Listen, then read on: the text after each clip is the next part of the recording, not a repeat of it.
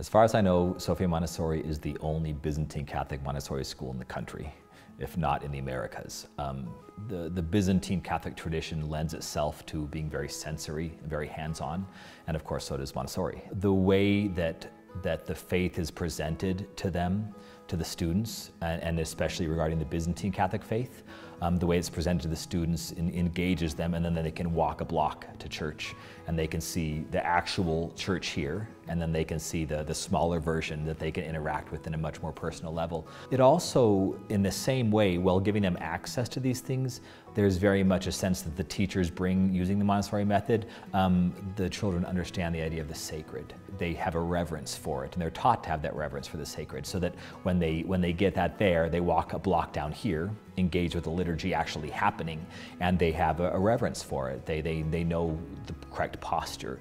Um, they know how to engage with God. They, they feel His presence in a way that they were able to work through within a school and then come engage with on a weekly basis here in the church when they come and visit.